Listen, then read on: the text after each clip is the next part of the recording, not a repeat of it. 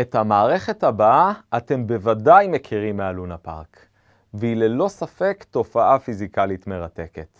המערכת שלפנינו נעה סביב ציר העובר במרכזה, כך שהמסות תמיד נמצאות במרחק מסוים מציר הסיבוב.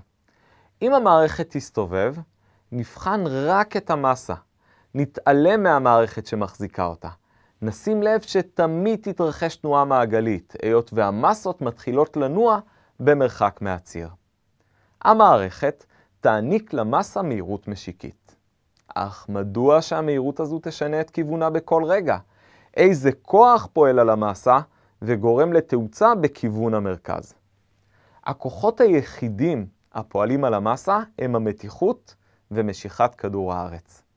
משיכת כדור הארץ לא מכוונת בכיוון מרכז המעגל, זה מאונח. הכוח האפשרי היחיד הוא המתיחות. ומכיוון שהמתיחות חייבת לפעול גם בכיוון מרכז המעגל, המסה בהכרח תנוע בזווית, כך שיהיה רכיב של המתיחות לכיוון מרכז המעגל, ורכיב של המתיחות שיבטל את השפעת הכוח mg. ככל שהמהירות תהיה גדולה יותר, יידרש כוח חזק יותר כלפי המרכז, ולכן המסה תיצור זווית גבוהה יותר.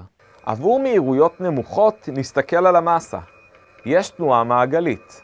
עבור גבוהות יותר, הזווית תהיה גבוהה יותר. הזווית אף פעם לא תגיע ל-90 מעלות, מכיוון שחייב להיות רכיב של המתיחות בכיוון האנכי שיבטל את הכוח mg.